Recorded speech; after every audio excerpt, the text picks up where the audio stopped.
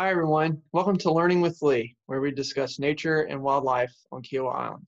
I'm your host, Lee Bundrick, Land Preservation Coordinator for the Kiawah Conservancy. Today, we are interviewing digital content intern Emily Horn to talk about herself and her role with the Conservancy. Hi, Emily. Thanks for joining us today. Thank you, and I'm glad to be here. I have learned so much throughout my internship at the Kiawah Conservancy, and I am excited to share my experience. Could you tell us and uh, some of our listeners about yourself? I am originally from Charlotte, North Carolina, but after middle school, my family decided to move to Seabrook Island. I attend Charleston Collegiate School, a school on Johns Island that has a project based curriculum.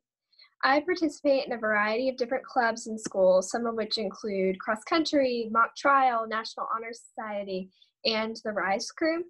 RISE is incredibly important to me. It's a group of students responsible for educating the school community on global issues.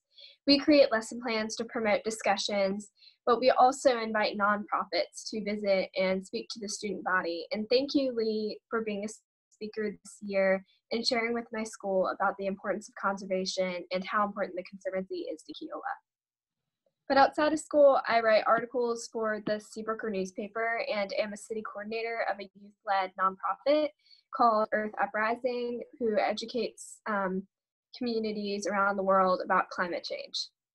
Well, I had the chance to speak to your school about local conservation work, and it seems like you do a lot of work over at uh, Charleston Collegiate and out in the community. I understand this was part of your majors program at the uh, Charleston Collegiate when I came out and spoke to your uh, school. Could, could you tell us a little bit about the majors program? The Charleston Collegiate Majors Program is a program offered to juniors and seniors that allows us students to participate in an internship on or off campus. Um, this is to explore potential career paths and to help us find our passions. I chose to major in nature conservation with a focus on wildlife photography by interning at the Kiowa Conservancy. Why did you want to do your majors program internship with the Conservancy? I decided to choose this major after a wildlife photographer came and spoke with the high school last year. I already had an interest in conservation and have had a long time passion for photography in middle school. I would go around taking pictures of literally everything around my house, whether it's my cats, a random soda bottle I found, I would take a picture of everything. The idea of combining my old passion with a current issue, it, it was just exciting to me. Um, from Rise, I actually maintained a list of local nonprofits sorted into different topics. Um, as I was looking through the list to see if any have potential internship opportunities for next year, I immediately reached out to the Conservancy the moment I saw it on the list. Recently, you gave a presentation at Charleston Collegiate as part of the majors program. Uh, what was the subject of this presentation and what were some of the challenges that you came across when putting it together? Every student that completes the Charleston Collegiate Majors program is asked to complete a presentation, and I focused on two essential questions. What is the importance of nature and wildlife conservation, and how can wildlife and nature photography demonstrate the importance of conservation and caring for environment, other species in the environment in the world? I basically began my presentation walking my audience through what conservation is and what it is not, and explaining what would happen to our world if we do not conserve. The second component of my presentation was sharing what the Conservancy does and the programs they offer um, to the Kiawah community, such as the Legacy Gala and the Music in the Garden events. I then explained my internship and my key experiences, such as performing a mock conservation assessment and analyzing the plants and wildlife at my school's outdoor education center. To conclude my presentation, I shared my portfolio of wildlife and nature photography with corresponding descriptions of the animal species depicted with my audience.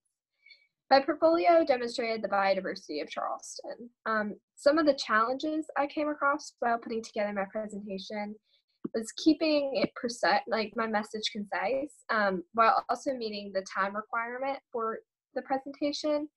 I spent much time editing and revising certain portions, and I also had to practice it many times in front of my classmates.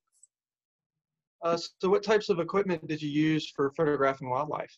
I use a Canon camera my family has had for a few years, and I have two zoom lenses that I use. I use the larger zoom lens the most, though, because I'm actually afraid of a lot of animal species, especially insects.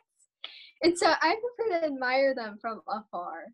I can take a decent picture of a ladybug without even getting close to it, which is really nice. Where are some of your favorite places on Kiawah to see wildlife and take photos? My favorite places on Kiawah to see and take photographs are the Naturally Kiawah Native Garden at Night Heron Park, Canvasback Pond, Osprey Point, and the Preserve.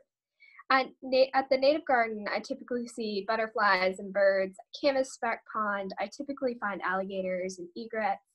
At Osprey Point, I also see alligators, but they're usually a group of ibis in the trees by the pond near the golf course. Um, at the preserve, I usually take marsh scene pictures and an occasional picture of Bubba, who's a gigantic alligator that lives in the pond by the entrance. What wildlife species is your favorite to photograph and, and why? So I have so many favorites, some of which include dolphins, monarch butterflies, sanderlings, roseate spoonbills, eastern bluebirds, tricolored herons, ju- juvenile alligators, and gray egret. Did you come across any unusual or unexpected wildlife during your photography sessions? I've actually had many unusual wildlife experiences. I accidentally stepped on an alligator once. I thought it was um, part of a tree. Um, but more recently, actually, just the other day, I was watching an egret with a nest of her chicks in a tree, and it was above one of the ponds on Seabrook.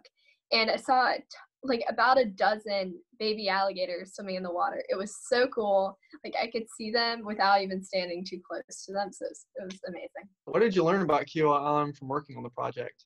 While on Kiawah, I learned about the beauty of balancing nature and development. Kiawah has many outlets for people to interact and learn about nature across the island. And when working on creating my portfolio of photography, I was able to explore the many trails and docks that Kiawah has. What are some of the other projects you're working on now? As a result of my internship at the Kiawah Conservancy, I am working on building a native garden on my school's campus to help promote native plant species. This garden will be inspired by the Naturally Kiawah demonstration garden at Night Heron Park, and thank you, Lee, for your help on this. Um, I'm hoping this can be my legacy that I leave behind at my school when I graduate. But unfortunately, because of COVID 19, I'm not sure when I will be able to officially start building the garden, but I hope sometime soon. I have met with my head of upper school and dean of student life about potential ideas over the summer. I hope to prepare to share my ideas with my head of school and to get approval. What are your plans for the, the, the future afterwards? I will miss the Conservancy next year a lot. Um, I'm hoping, though, to take my passion for conservation to another level. I would like to major in government and policy or environmental policy, possibly by pairing an internship at a government office with an internship at an environmental lobbying group. Um, next year, I will also be applying to a few colleges. Um, I'm interested in pursuing a major in public policy and possibly a minor in sustainability, if not in something similar to these topics. After college, I hope to go to law school and then work in Washington, D.C. Thank you so much for taking the time to talk to us today, Emily. It was great to learn about your work as an intern with the Conservancy and about some of your great plans for the future. Thank you, Lee. I'm happy to be here. Join us again next time for another episode of Learning with Lee.